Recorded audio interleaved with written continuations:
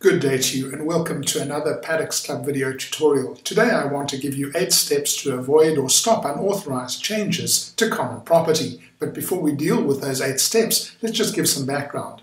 Owners can apply for trustee consent to add minor fixtures to or make other minor alterations to the common property. This is in terms of prescribed conduct rule 4.1. An owner or occupier, it says, must not mark, paint, drive, nails or screws into or otherwise damage or alter any common property without written consent of the trustees. The trustees are only entitled to give permission for very minor changes that they consider will not negatively affect the appearance of the buildings.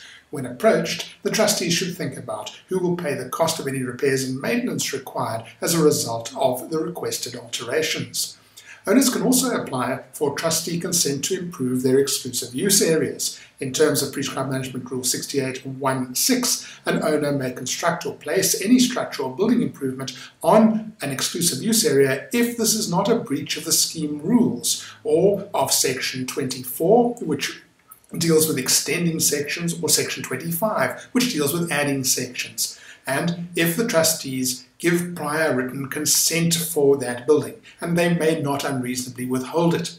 When approached in this regard, the trustee should think about whether building plans are required for the proposed improvement, whether the owner will submit these to the trustees for approval in advance, and also ensure that they are officially approved before work commences. The other thing the trustees might want to think about is whether they will require that the owner or his or her successors in title will remove the building improvement and pay all associated expenses if the body corporate in due course finds that the improvement or its use is a nuisance to other owners or that it's not being properly maintained. But let's move then to the eight steps I spoke of.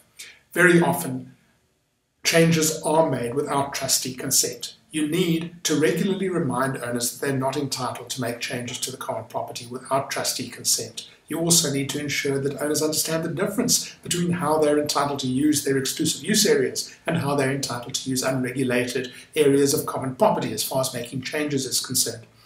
Put out a form that owners can use to apply to the trustees for permission to make common property alterations, whether in their exclusive use areas or otherwise, and ensure that the application form draws their attention and the trustees' attention to the relevant rules and issues.